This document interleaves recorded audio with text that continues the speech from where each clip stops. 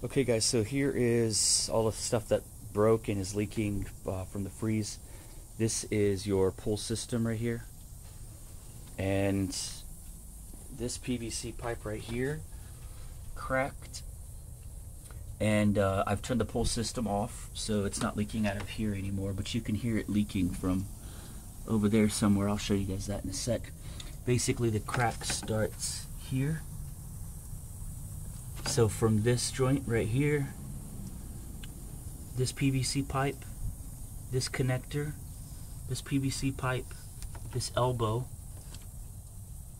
T-joint, this pipe, and this seems to be okay because there was an outlet here. So once it cracked through here, all the water was leaking out here. You can see the water has finally started to sink into the soil, but it was all uh, puddled up here next to the foundation and it flooded this whole area here where there's mud. It flooded all this here. So it created a hole there under the foundation and it leaked all the way out here and you can see where the soil is starting to uh, erode from underneath this concrete slab. So for this particular job, this needs to get backfilled with dirt. It needs a few inches of dirt right up next to the foundation so that water isn't so easily getting it up underneath the foundation and causing any shifting or cracking. Now let's move to the other part. This is where your HVAC system is here and it's leaking out of this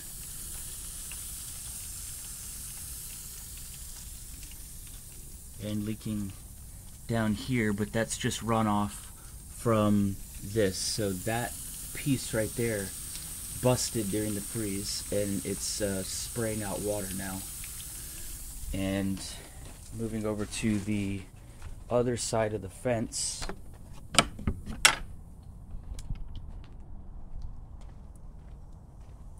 this uh, device right here must have busted and there's water leaking out from the bottom. Yeah, I can see how it's separated here. It's separated there, and that should be completely tight up against it, just like it is on the back side here. It's just flush, and it's cracked open right here, and water's leaking out from the water line. Alright, so if I click the water off from this water line here, that fixes the problem, but this will still have to get replaced if you want another one of these back on there since this one uh, ended up busting open. So those are all the leaks here. You guys can let me know what you want fixed. Um, for the time being, I'm just going to shut the water off from the main line at the front of the house so that we can take care of that leak that's happening there because that does not have an off valve as far as I can see. So that one right there. And that's all puddling up right next to the foundation also. So I'm going to turn the water off and uh, let me know if you guys have any questions or need any other details or need me to look at anything else with this. Um, otherwise, uh, I'll get this video posted as soon as I'm on Wi-Fi and talk to you guys later.